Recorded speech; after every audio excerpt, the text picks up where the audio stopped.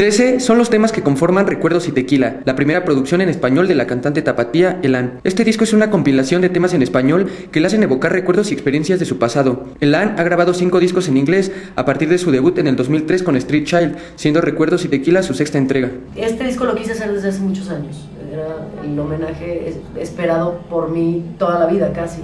Pero cuando comencé no tenía ni la madurez ni el callo para poder realmente cantar una canción de José Alfredo, de Fito, sin sin que, no, que no me la creyera. Como, como músico, pues siempre quieres hacer un disco con más canciones, ¿no? Pero tienes que medir un poco, nunca puede haber uno de 40 rolas, ¿no? Pero, pero lo pensamos muy bien y estas eran las que quedaron porque tenían eso como el recuerdo de la abuela tequilera, las carnes asadas en mi casa en Guadalajara, este, cuál cantidad de cosas grandes y importantes para nosotros.